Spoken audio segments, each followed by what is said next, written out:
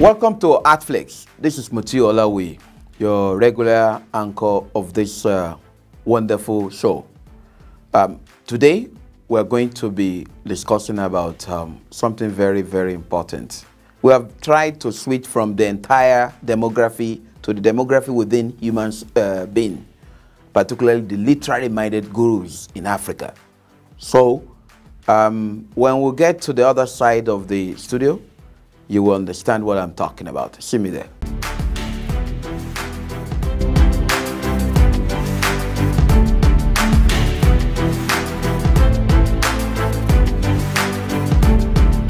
Welcome once again to Artflakes, the show where we deeply go into the world within the world. Last time we discussed about the world within the world of Ngugi wa Thiong'o, the man of literature as far as Kenya is concerned, or even when we talk about East Africa. When you talk about Africa even generally, you cannot eliminate Ngugi wa Thiong'o. Anyway, today we're not going to go into that. Uh, you have already enjoyed the content of uh, the exploration made about the world of Ngugi wa Thiong'o. But this time around, we are back at home. We are going to deeply discuss about someone that is known to the Somali community. You cannot say you are into um, the literary work of uh, the Somalis and you fail to pass through this writer. And who is this person? By the time I introduce our, our guest today, you'll get to understand who we're going to be talking about. Welcome to the show. Yeah. Uh, today, we, I want us to just uh, uh, tell us what you want to talk about. Uh, what, who is this person in Somalia that you are trying to talk about today? All right. Uh, today we'll be zeroing on uh, a Somali British-born writer, writer by the name Nadifa Mohamed. Nadifa Mohamed. Yes. So, are we going to be exploring the entire world of Nadifa, or we will narrow it down to one no, aspect of? We are narrowing it down to one work. aspect. We are looking at uh, precisely the Orchard of Lost Souls. Okay. That is uh, a novel she wrote. Or the Orchard uh, of uh, Lost, Lost Souls. Souls. Yeah, oh. she has two novels: The Mamba Boy and the Orchard of Lost Souls. Okay. So today we are considering the Orchard of Lost Souls. All right. Before we go into the work of Nadifa, could you please uh, tell us? Um, um, about the background of this uh, writer. All right. Uh, she was born in 1981, mm -hmm. and uh, she grew up in Hargeisa. She was about eight years or seven years before she left. She left the country with her parent. Her father was a sailor, mm -hmm. and uh, she traveled outside the country which, to UK, to the UK with her parents. Mm. When her parents was when they were about to come back mm. to the country, that was uh, at the time. That was the time when the civil war erupted. So they decided to stay back and uh, wait for the civil war to to mellow down before coming. But things continued to deteriorate, and uh, coming home did not happen as planned for the family. So I think uh, it has affected our experience as a writer because uh, life has always been, our stories are always, are always about the Somali people, telling people about the Somali people, their life and their experiences, and it, is, it has been an integral part of our, uh, our writings. Mm, interesting. Um, okay, let's, uh, before we go into, because you talk about one very important part, uh, which is uh, what made her not to return. It is unforeseen circumstance. Yeah. I want us to go deeply into this. Uh, the Somali civil war uh, came, or what in some quarters is termed as genocide, uh, happened within 1988 to 1991, and uh, it was a terrible period for all Somalis, in fact, because none, nobody was safe. But more terrible it is in uh, in Hargeisa, which was in northern Somali then, because uh, Hargeisa and the surrounding towns around it were almost uh, according to what the, what you find in the novel, mm. they are almost decimated. I think it was more like a plan to destroy the entire the entire the entire, uh, the, uh, the, entire demography of the place. You know, people many people were displaced. Mm. Children became uh, refugees, and you know the war was terrible for everybody. And those who could escape were looking for means of escape and traveling out of the country. So uh, you see a lot of that in that no, in the in the novel we're working on today, and you know there is there's that displacement, disintegration, fragmentation in the society. It was a terrible war, and it was at that time. It was uh, during the reign of uh, Siad Barre. you know the Somalis some some uh, some group themselves under the Somali National Movement and decided to fight against the tyranny and oppression being uh, being exhibited by the government of uh, Siad I think we discussed so, something like that in uh, Garie. Yeah, yeah, yeah. Uh, so his response was a total annihilation of the people. Mm. He was bent on destroying them if they would not comply to his directive or the, the decree he gives. So it was it was a terrible moment, and uh, quite unfortunate for many people. The history still lingers on, still lingers on. People, many people can still forget the experience of that period because even I think of recent, the, the, I've seen uh, I've seen documentaries of dead bodies being dug up from the grave. Yeah, there were there were yeah. so many mass graves around Hargeisa and, other and the suburbs of Hargeisa.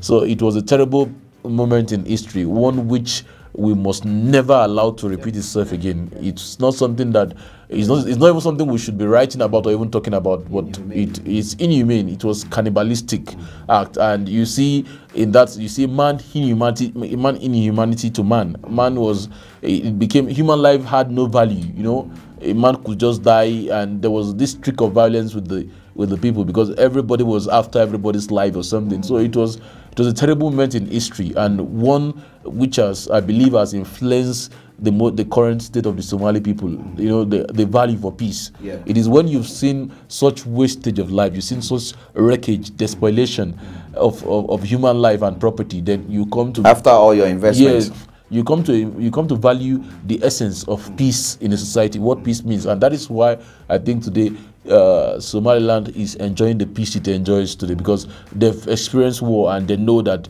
what they are saying today is never again. It should never happen again, and there's so much investment going on to, to, to ensure that there is long-lasting peace in the society that children can grow from from uh, from being toddlers into adulthood that there is hope for the future that the young ones can look and think of tomorrow because they know that they will grow into that tomorrow but in a situation where there is war if as a young person you can't even think of what will happen tomorrow because yeah. tomorrow you may be no more yeah. But now i can see i see the faces of the young ones i see them smiling and i see that there is peace i see the essence of peace that peace engenders hope in the society. It makes people believe that yes there is a tomorrow and i can succeed. So that is what i see in that aspect. Um in the this work um, i think is closely related to some writers' uh, work in the past that depict the picture of their own community. Uh, can you explore this um, um, relation, relating this text yeah, to um, other writers? As we know in literature, mm -hmm. literature, or uh, let's say writers, thrive more where there is oppression. Mm -hmm. And know, there was a certain time I was talking about South African writers, mm -hmm. and I said that the the glory of South African literature has dwindled into in, into nothing because the, the, highest point of South African literature came during the apartheid yeah. regime, right. where you had writers like uh, Dennis Brutus, yeah. Uh, you had uh, uh, Arthur Fugard, uh, who wrote is Dead. Yeah, we had uh, who was Mazisi Kunene. Kunene. Uh, yeah, so we had lots of these writers. We Otto Mishali. Mm-hmm. This, this was South African writers. They were writing about the apartheid regime. Mm-hmm. And you know, in uh, Malawi, you can talk about uh, Jack Mapanje. Uh, yes. So who wrote the chattering uh, work tales of the, uh, from Mikuyu prison or something? Yeah. And you know, we had also Ngugi wa Thiong'o from yeah. from Kenya. Mau Mau. Yeah. yeah. Then you had uh, Wole Soyinka, the man died. Yeah. With you know? no child. Yeah. so with no child. You see. And also, you can talk about uh, Sly Chenikoka of Zimbabwe, from of Zimbabwe, in the former Rhodesia. Mm. Uh, he wrote uh, uh, the tons, harvest of tons. Yeah, yeah. So you see that the trend is that literature, great literature comes out, uh, is born out of great oppression and suppression in society. And you know, because this is the, the, reason being because when there is oppression or suppression, writers do not stand down. It happens even in the in the Russia in the Russian communist society. Great writers came from that were born from that that period of oppression because they would not stand down and watch the society continue. Rather take upon themselves the role of being the conscience of the society. They have to say something when they see that something is going wrong. And when it comes to war, especially, war becomes a material for writers to write to say something about. You know, when the Nigerian Civil War happened, you, we had uh, we had various writers. We've had uh, Cyprian divided we stand. We've had uh, uh, the uh, Chimamanda Ngozi Adichie, uh, half of Yellow Sun, and uh, the American Civil War itself. You remember Stephen uh, Stephen Crane, Crane, yeah. the Red Badge of Courage. Yeah. So basically, war has always been a a material for people to write about. And you know, I once I was in class, my lecturer was asking, what advantage as the as a war, the Biafra Civil War, given to the literary world? I, I was thinking, what advantage could war be to literature? Then he said that because of that experience, so many people have written on that particular subject. You know, not because they encourage it, but because they want the society to always remember, to go back and see what happened. So that when somebody stands up and clamors for war, they will ask you, go and read what this person wrote. Yeah. Then when you get a feeling of that experience, you will always know that it is always best Yeah. to have peace in all situation. So that is what has happened there. And one, one funny aspect is the fact that when whenever this war happens, it is those of the younger age who may not even have been born at that time that write great the greatest stories about them. And we've seen Nadifa Mohamed experience being documented there. And Nadifa, at the time the war was happening, she was not even Nagisa, she had already left. And we've also seen uh, uh, Chimamanda Ngozi Adichie. She was not even born at the time of the Civil War, War, yeah. but she was able to document Yeah. this story based on what she heard. Yeah. And I think it's a touchy issue because some people never recover from it. Some people never recover. They can't write because when they go back to reimagine that horror, Yeah. it is difficult for them to to commit their thoughts to paper because you know it's it's a terrible experience. And if you have that experience one on one, it is not easy for you to sit down and recount it without shedding tears. You know, Achebe experienced the war. You know, Achebe of Nigeria experienced the Nigerian Civil War, and as at the end of the Civil War, he could not. He, he could only come up with a book of short stories. People were expe- expecting a novel from him, but he could only come up with a, a, a, collection of short stories that with Girls at War. It was much later, at the terminal stage of his life, that he wrote. Uh, there was no, there was a country. There was a country. It is not on the same par as a novel. It's not a novel. It's a, it's a memoir. So you can see that. Even some people criticize as uh, uh, erasure because he attacked some uh, yeah, yeah, uh, he- tribes he- in that basically area. because yeah. he, he had a lot inside him, and that book was just an opportunity for him to vomit these things out before. yeah, before, he has before already achieved what he wanted to Yeah, achieve. so you see, i- what if you look at it very well, it's always difficult for those that experience it Yeah. to re- to say something or write something about it. But the people that can give that even give a very factual description of what happens are those who were born after or who did not have direct contact with it. Like as you can see, as you've seen the work of Ch- uh, Chimamanda Ngozi Adichie, yeah. half of a Yellow Sun. Yeah. You before her, I've seen. Uh, uh, the, the, I think women are different by Flora Nwapa. It was about was it Flora Nwapa or Buchi Emecheta? I think it was Flora Nwapa. Flora Nwapa. So you have seen that work. It was based on the. It's had the. Uh, it was wrapped around the Biafran Civil War. There was uh, uh, uh, Cyprian divided we stand, but none came comes can't close to to Half of a Yellow to half of a yellow sun, which is more graphic and descriptive in in detail. And the same applies with uh, with the Stephen Crane, Ba- Red Badge of Courage. Yeah. Critics agree that Yeah. it was the best A typical Civil War picture novel of what happened of what happened in during the period. so 1891. and with Nadifa Mohamed, we have the same trend occurring. I cannot say for now if it's ours is the best because um, uh, there are others that we are still yet to explore. Yeah, yeah. But still, I think she has given a very graphic description of what happened in a beautiful language because our language is poetic. We are going to get to the language aspect and talk about it. All right, let's uh, go into the uh, plot development of the story. Uh, what um, what is the story all about? Yeah, the story is uh, based on the uh, Somali civil war that happened uh, from 1988 to 1991, and uh, you see the way she tells the story. She she tells the story from the angle of three women who uh, who uh, the story is actually divided into three parts uh, based on the plot. The first part, the three women are brought together. Then in the second part, they go their separate ways, and we read about their separate lives. Then at the end, she brings them together again. And that is the third part. There are three parts of the of the book: part one, part two, part three. Now, the the the women are Kausa, a woman in her 50s Then uh, there is a uh, Filsan, and there is a uh, Deku.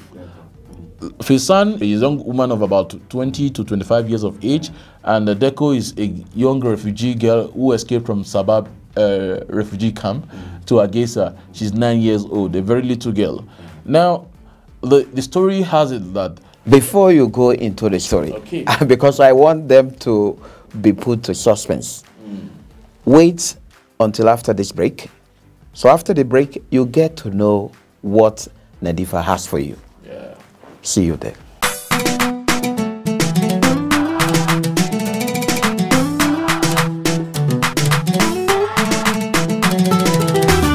Welcome to QETC Qalam Educational and Technical Center. I am Ahmed Mohamed Ahmed. I am a student of Qalam Educational and Technical Center.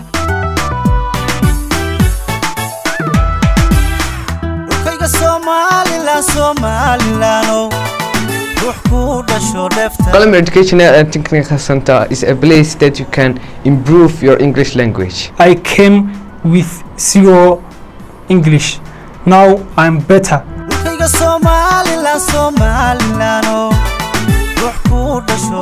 Come to Qalam Educational Technical Center.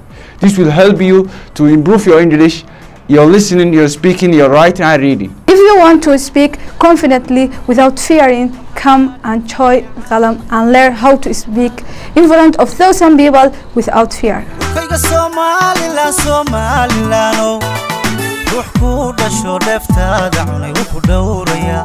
All right, welcome back to the show.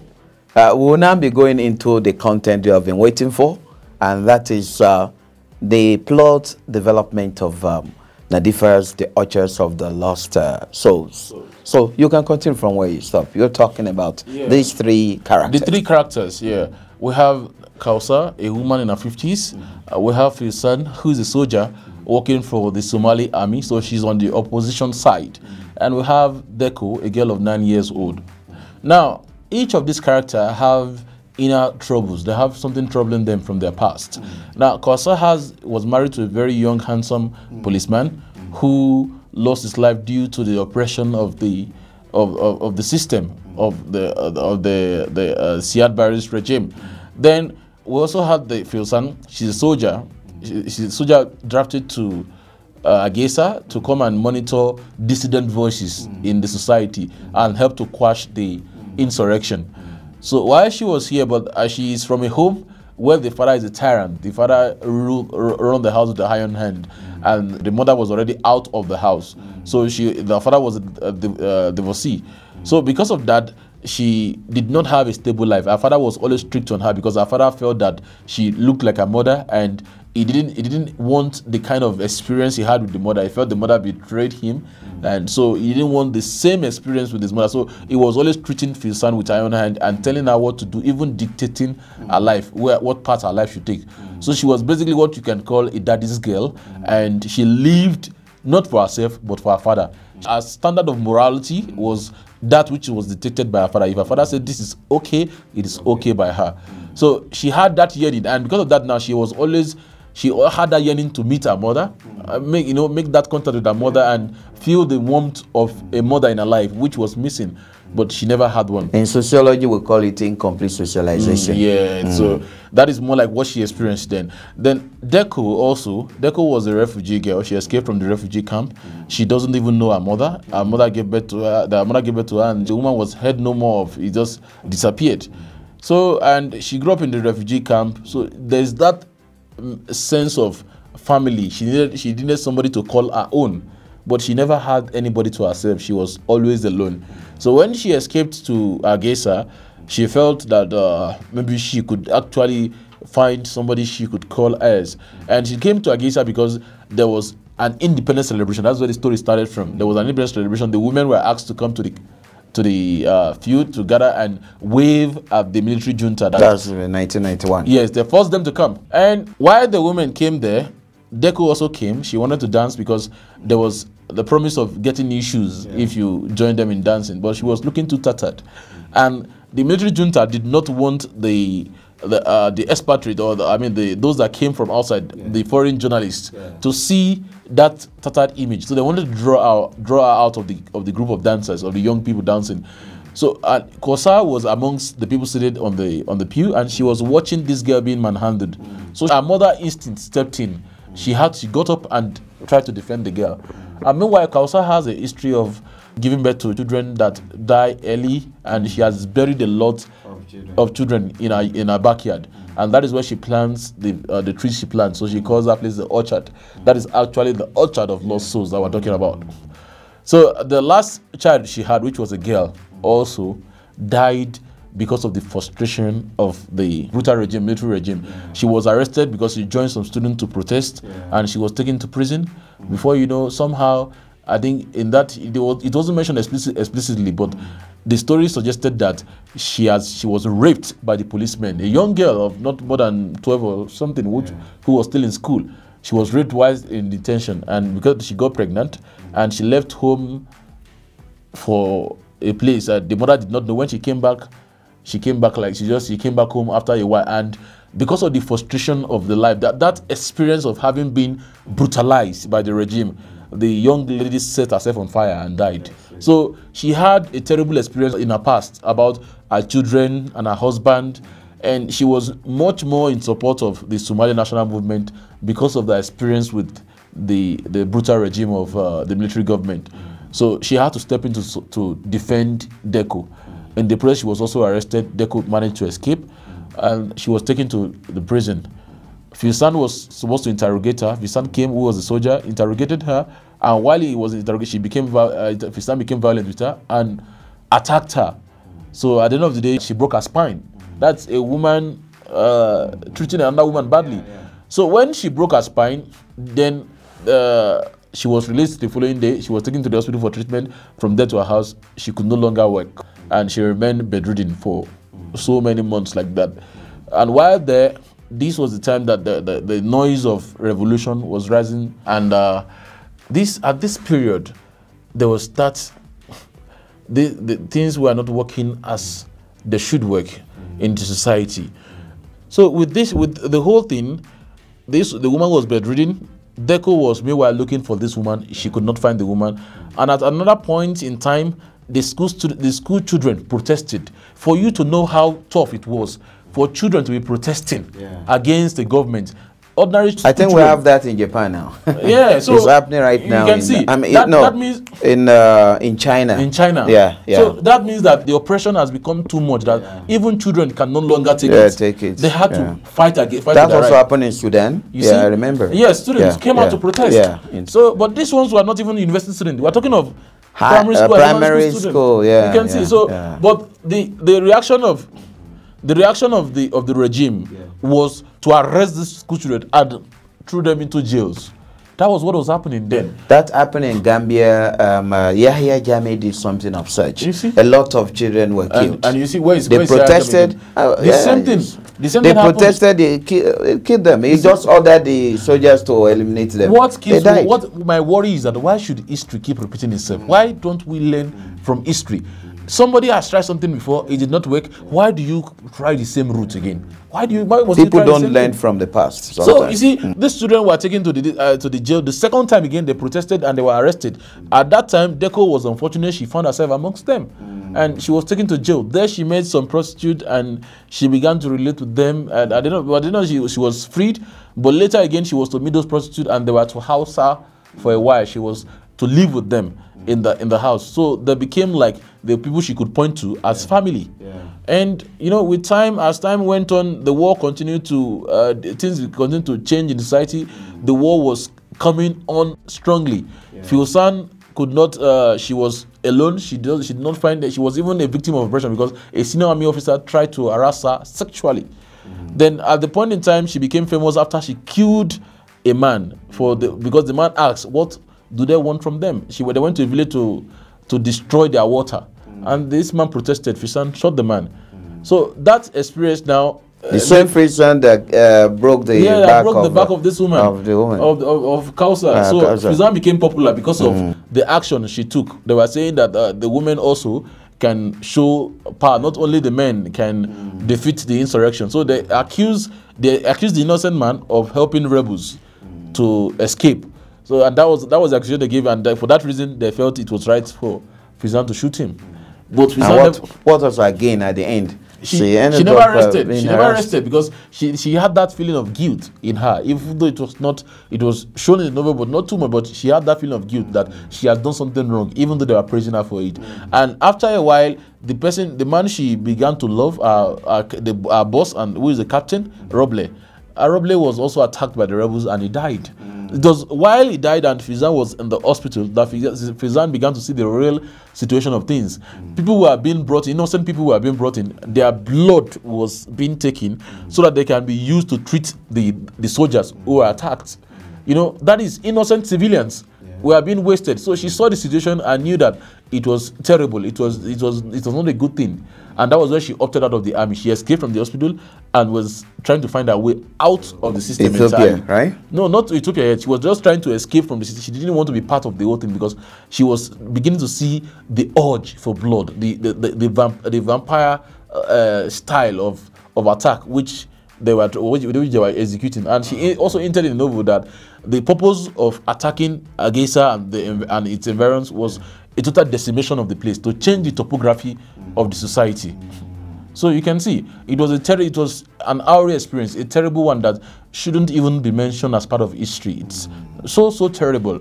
Then you know after that she as she escaped from the place, she found herself. Uh, by then Deco had already Deco somehow. Uh, the prostitute ran away and left for Ethiopia and left her alone. And while So man- she did not go with them. she did not go with them. A man tried to harass her. Because the man they left her they left the man they left her in the care of a, of a, of a man. and the man felt okay this is a sexual object.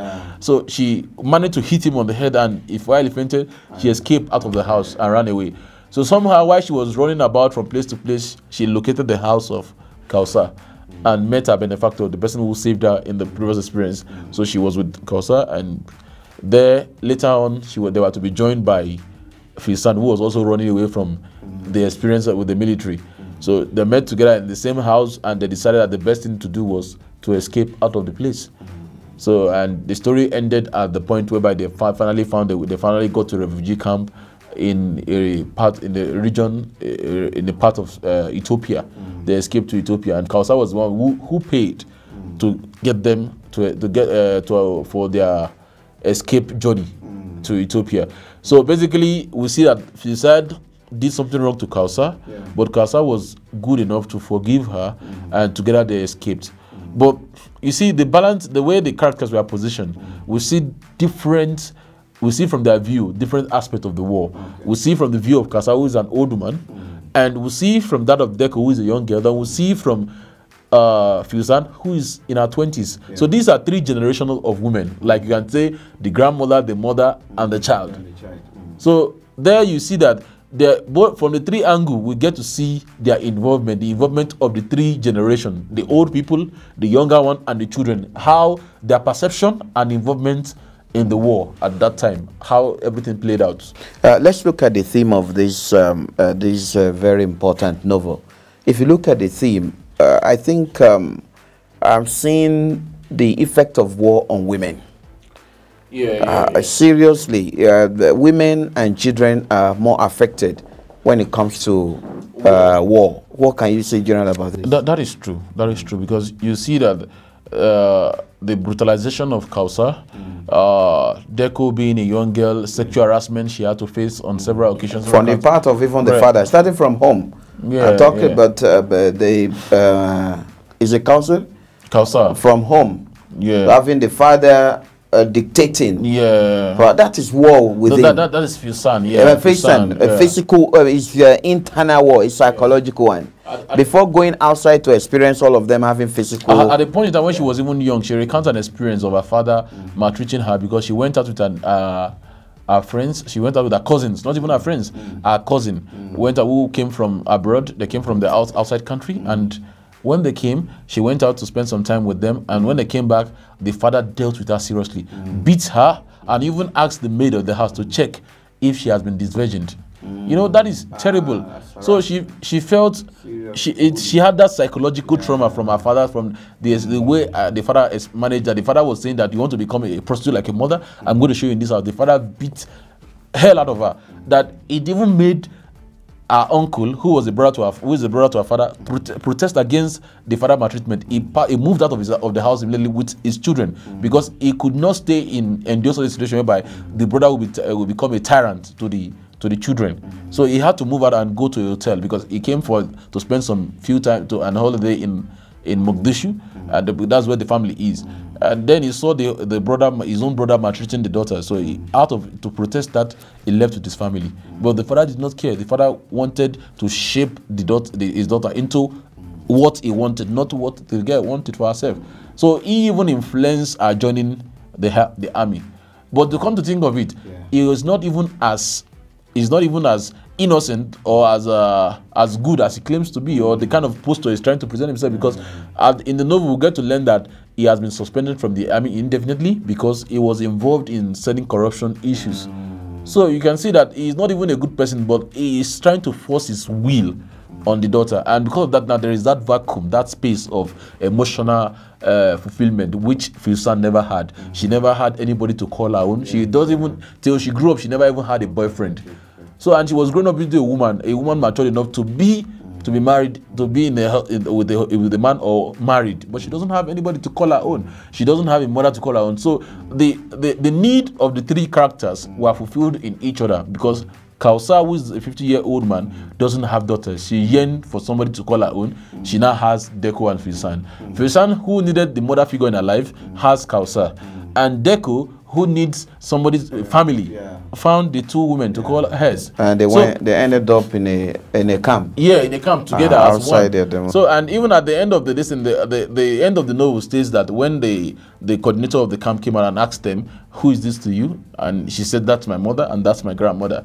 So they identified as a family at the end of the novel. But you know, looking at it from the angle of the women, like uh, I think she said it somewhere. Nadifa Mohamed said it somewhere, maybe in the preface of the book, that women, the impact or the role of women in the war are not uh, were not so much mentioned. But even at that, I believe she could have given us the balanced story. Maybe the men there were just shadows. She did not push them out of this thing. So That's exactly men- where I'm going. The men were hidden. That's so why I she only presented Yeah. the women, the women angle. alone. Angle. And I believe I that didn't see anything even, that has to do with uh, men even on their if the, part. even if the men As that- if they did not suffer. the men that were there Yeah. were just the, were the Uh, ones that oppressors. the oppressors. Yes, yeah, that's how I she saw represented- everything. If you look at every scene, you will see that uh, the picture of oppressor, the rapists, you know, those who are tempted, the, Yeah, uh, the, the corrupt person. So I was you know, I was I was itching to see to see a man compliment them because I believe The in uh, complementarity. There it yeah. shouldn't be a woman woman thing. Let Yeah. us also see the role of the men. At least one man would not have done would And have perhaps uh, that's our own mirror. So, you know, as you have said, you know, she's trying to show the effect of war. yeah, because on women. she believed that women, were- the Women women, are the- were not Yeah, much represented yeah, in yeah. the in the in, in So the war. that is our so she's trying to clearly. present the the role the women Exactly, play. But even if she's exactly. doing that, at least a little bit of balance would not have uh, would not have Anyway, we'll anything. get that next time. Okay, thank, thank you. you. so much for uh, giving us uh, a thorough exploration of this uh, wonderful text. We have seen what Nadifa has uh, done in the text, um, and I believe that um, for those of us who didn't know about what happened in Hargeisa before, uh, find time to read the text, and you will surely enjoy it. See you next time. Thank you.